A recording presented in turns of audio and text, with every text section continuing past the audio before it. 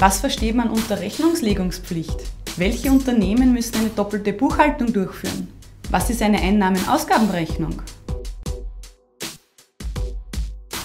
Wenn Sie ein Unternehmer, eine Unternehmerin sind, sind Sie dazu verpflichtet, Ihre Geschäftstätigkeit in Büchern zu dokumentieren.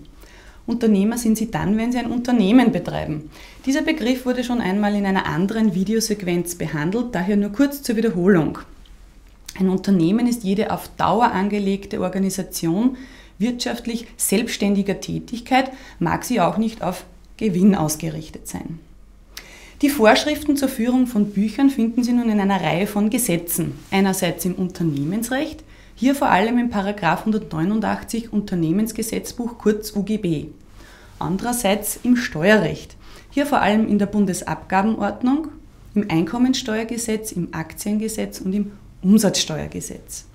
Und überall dort, wo die Vorschriften nicht in diesen Gesetzen niedergeschrieben sind, gilt das nicht kodifizierte Recht, die sogenannten Grundsätze der ordnungsgemäßen Buchführung.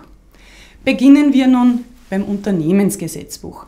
Paragraph 189 zählt hier alle Unternehmensformen auf, für die die gesetzliche Pflicht besteht, die sogenannte Rechnungslegungspflicht, ihre Bücher nach den Vorschriften der doppelten Buchhaltung zu führen. Diese sind alle Kapitalgesellschaften, AG GmbH. Hinsichtlich der Personengesellschaften bestehen folgende spezielle Fälle der Rechnungslegungspflicht. Bei den kapitalistischen Personengesellschaften wird eine systematische Aufteilung vorgenommen, und zwar in jene, bei denen alle unmittelbaren oder mittelbaren Gesellschafter, mittelbar das heißt über eine neue Personengesellschaft, letztlich nur beschränkt haftbar sind, da sie Kapitalgesellschaften sind. Das betrifft konkret die GmbH und Co. KG oder die AG und Co. KG und bei diesen Unternehmen ist die unternehmerische Tätigkeit kein Kriterium für die Rechnungslegungspflicht.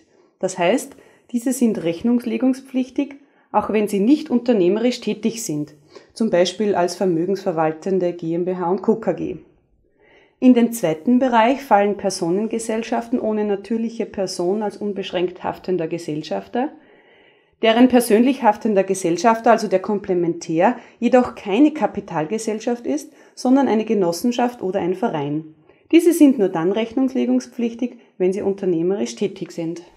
Die dritte Gruppe von Unternehmen, die zur doppelten Buchhaltung verpflichtet sind, sind alle Personengesellschaften und Einzelunternehmer, wenn die Umsatzerlöse im Bilanzjahr 700.000 Euro überschreiten. Dabei muss dieser genannte Schwellenwert zweimal hintereinander, also in zwei aufeinanderfolgenden Jahren, überschritten werden und die Rechnungslegungspflicht tritt dann im übernächsten Jahr ein nach Zwischenschaltung eines Pufferjahres. Wird jedoch dieser Schwellenwert von 700.000 Euro um 300.000 Euro überschritten, sprich in Summe eine Million Umsatz-Euro pro Jahr tritt die Rechnungslegungspflicht bereits im nachfolgenden Jahr ein. Das heißt, schauen wir uns ganz kurz ein kleines Beispiel ein. Das Unternehmen X erwirtschaftet im Jahr 2013 und 2014 jeweils 750.000 Euro Umsatz. So beginnt die Rechnungslegungspflicht im Jahr 2016.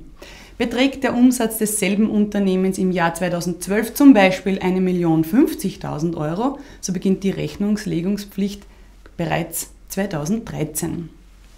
Nicht rechnungslegungspflichtig nach 89 UGB sind daher Personengesellschaften und Einzelunternehmer unter der Umsatzgrenze von 700.000 Euro, Land- und Forstwirte sowie Angehörige der freien Berufe. Das sind zum Beispiel Rechtsanwälte, Ärzte, Notare, Künstler oder Schriftsteller. Das waren die Ausführungen des Unternehmensrechts. Schauen wir uns nun die Bestimmungen des Steuerrechts. Hier sind ja die Bücher zu führen, um die Abgaben vom Einkommen erheben zu können. Hier ist es ein bisschen diffiziler. Paragraph 124 Bundesabgabenordnung besagt grundsätzlich, dass alle Unternehmen, die auch nach dem Unternehmensgesetz zur doppelten Buchhaltung verpflichtet sind, auch nach dem Steuerrecht dazu verpflichtet sind. Zusätzlich sind jetzt aber noch nach 125 Bundesabgabenordnung auch Land- und Forstwirte zur Führung einer doppelten Buchhaltung verpflichtet, wenn sie bestimmte Buchführungsgrenzen überschreiten. Das heißt, entweder sie erwirtschaften in zwei aufeinanderfolgenden Jahren mehr als 550.000 Euro Umsatz oder der Wert des Betriebes zum 1. Jänner eines Jahres übersteigt 150.000 Euro. Darüber, dürfen, darüber hinaus dürfen Unternehmen, die weder per Gesetz rechnungspflegungspflichtig sind, die dürfen freiwillig die doppelte Buchhaltung führen. Alle anderen Unternehmen, also diejenigen, die weder per Gesetz rechnungslegungspflichtig sind, noch freiwillig dies tun, sind nach 126 Bundesabgabenordnung verpflichtet, ihre Bücher nach der Einnahmen-Ausgabenrechnung zu führen. Hier sind die Betriebseinnahmen und Ausgaben lückenlos zu dokumentieren. Es ist ein Wareneingangsbuch sowie ein Kassabuch zu führen, sowie ein, äh, ein, ein Anlagenverzeichnis.